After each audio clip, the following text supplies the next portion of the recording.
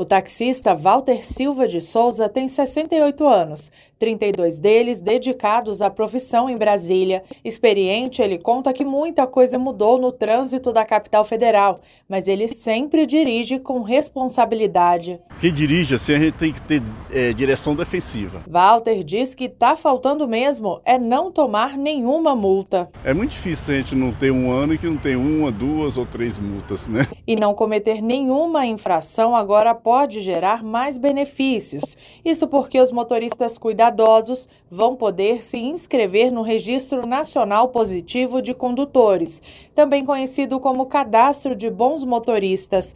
De acordo com Frederico Carneiro, secretário nacional de Trânsito, o objetivo da medida regulamentada pelo Conselho Nacional de Trânsito é permitir que as unidades da federação concedam benefícios fiscais ou tarifários para condutores que não tenham cometido infração de trânsito nos últimos 12 meses. Em vez de o Estado apenas aplicar penalidades, multas àquele condutor infrator, ele incentiva o bom condutor, né? premiando, concedendo algum tipo de benefício para quem segue as regras de trânsito, tem uma, uma conduta harmoniosa ao volante. Segundo o secretário nacional de trânsito, as empresas que participarem da iniciativa vão ganhar um selo chamado de parceiro do bom condutor. Conceder a essas empresas, entidades públicas e privadas que estão oferecendo benefício, então para ter o seu nome a sua marca, a sua política associada a esse cadastro positivo de condutores. Os condutores interessados podem se cadastrar no registro por meio do aplicativo da Carteira Digital de Trânsito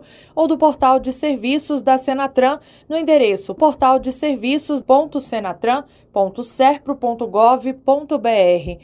Reportagem Gabriela Noronha.